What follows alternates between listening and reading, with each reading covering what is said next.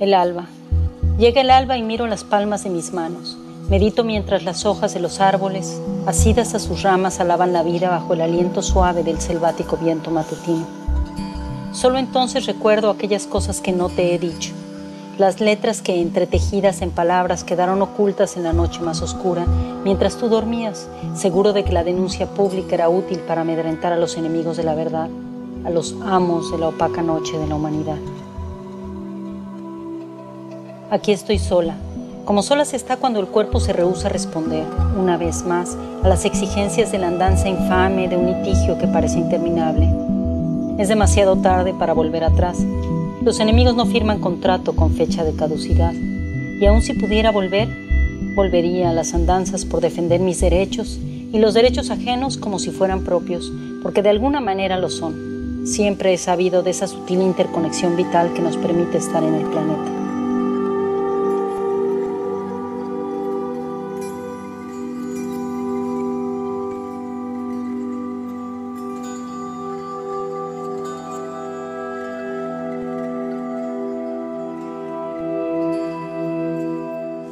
Sigue vigente la amenaza contra Lidia porque realmente no se ha hecho justicia. El hecho de que Carmen Nasif esté en la prisión pero Mario Marín siga libre.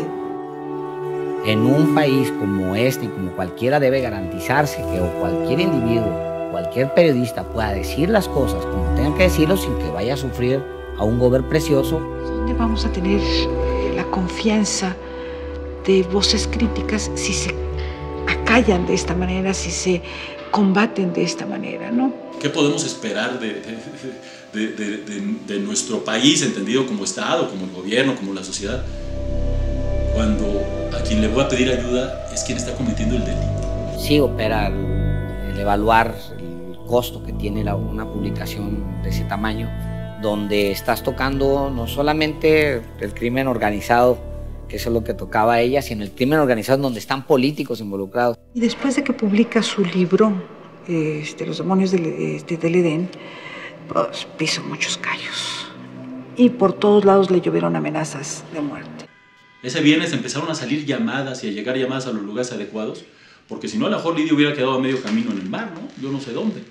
El día que se da, que se notifica que Lidia está desaparecida, una persona le habló a los medios, otra persona a la PGR y a la AFI y así, o sea, nos empezamos a mover. En menos de media hora el tema ya estaba en los medios de comunicación. Cuando supimos de este proceso, de esta desaparición, surgieron todas estas redes invisibles que estamos ahí. Con periodistas, con gente que sabe cómo poner la cosa en los medios, a quién mandarle la información. De una manera natural se empiezan a mover los hilos instantáneamente como fue ese viernes. O sea, lo que hicimos fue armar un boletín y luego ese comunicado lo metimos en nuestras propias listas y se hizo una difusión básicamente a pie. Y Lidia no sabemos dónde está. Creemos que van a Puebla. Cuando nos enteramos de que la habían secuestrado en Cancún y se la habían llevado a Puebla, esas horas fueron un infierno. Espantosas. La verdad es que fue un, un momento muy duro, muy duro. Fue realmente una pesadilla. Nunca te dije cómo me indigna ser una perseguida por la injusticia. Jamás mi voz ha pronunciado esas palabras. Cada vez que huyo de la muerte, un poco de mi alegría se derrama en territorio ajeno para nunca volver a mí. Se deshoja mi vida, es cosa perdida.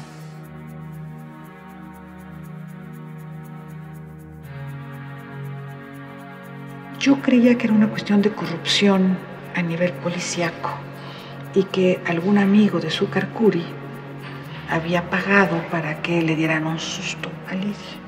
Jamás me imaginé que era un planteamiento de Estado.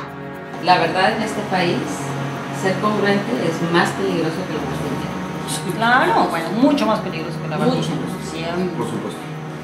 Lo que hacemos en esta mesa, el activismo, la defensoría, es la suplencia del Estado.